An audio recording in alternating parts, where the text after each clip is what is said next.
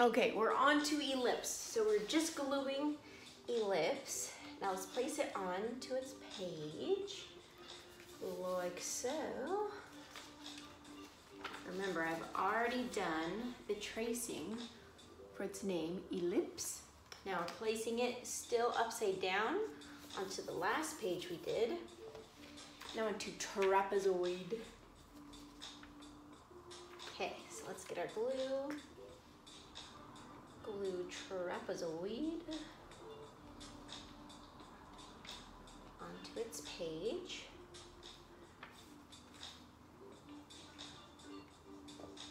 Great. There it is. Now flip it again, upside down, behind ellipse. Now onto pentagon. Let's glue pentagon.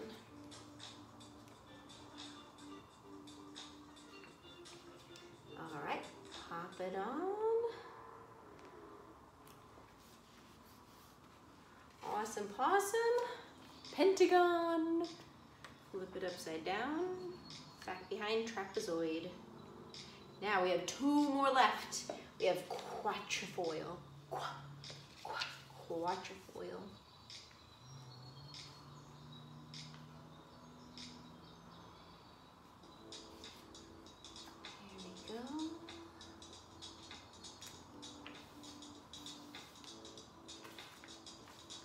Quatrefoil. Flip it upside down behind pentagon. Now last but not least, we have curved triangle.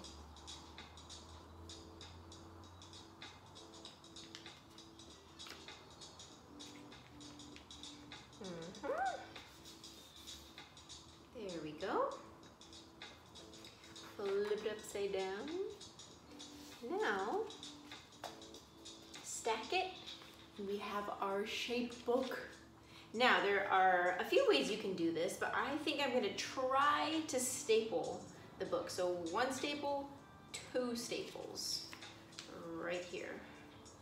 So let me get my stapler.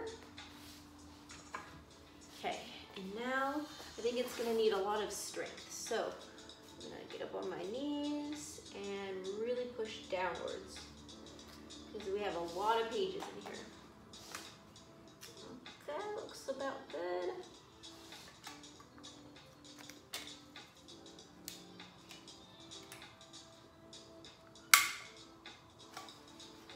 Okay, stapler doesn't want to work. Ah, it's jammed.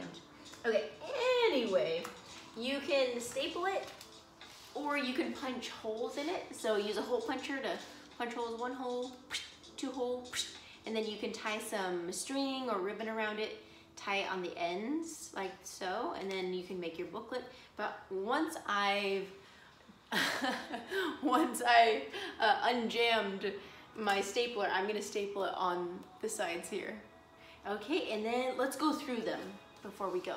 So we have circle, square, so circle, square, triangle, rectangle, oval,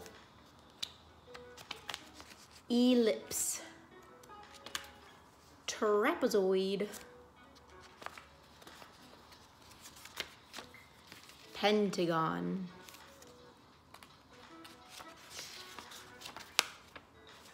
quatrefoil, and curved triangle.